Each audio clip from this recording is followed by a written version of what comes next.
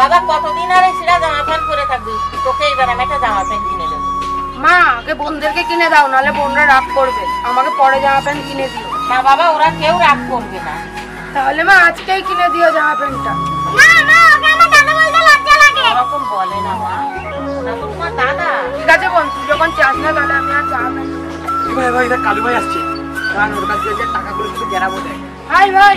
আরে আমাদের কালু ভাই যে কতদিন বাদে তোর সাথে দেখা হলো আমাদের পার্টি চাই আমরা আর কিচ্ছু জানি তাই তো ভাই? হ্যাঁ ভাই চল আজকে একশো টাকা কুড়ি টাকাটা কমে দিচ্ছি তো আম্মু পাঁচশো টাকা দিচ্ছে আমি এখনও চাই। আমার দাদাকে মারতে যাই মার কাছে যাই। দাদাকে একটা ছেলে মারছে।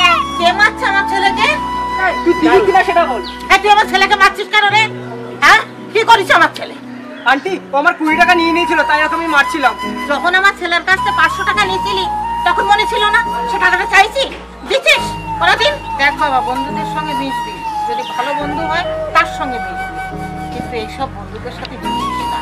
আন্টি আমি আর কোনো বন্ধুর সাথে হিংসামি বুদ্ধি করব না। তাই করিস বাবা। আমাদের মুখটা রাখিস। বন্ধু বান্ধবদের সঙ্গে বুঝে মিশিস। ও তো আমাকে মারছিল না আমার সঙ্গে আর কি করছিল। ভাই কেন মিথ্যে বলছিস ভাই? না আন্টি আমি আর এরকম ভুল কোনো সময় করব না। এবার থেকে আমরা দুজন বেস্ট ফ্রেন্ড হয়ে থাকব। ভাই হবি তো আমার বেস্ট ফ্রেন্ড